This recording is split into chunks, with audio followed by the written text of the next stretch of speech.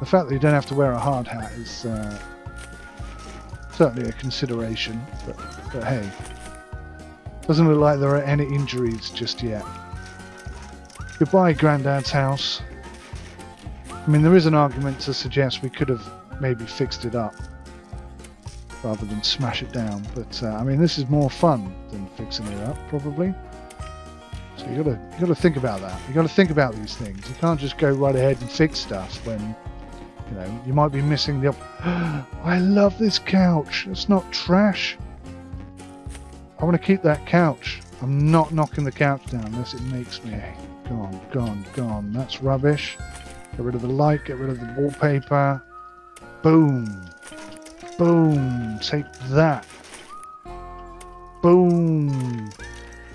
Yeah. Take that, Vinnie Jones.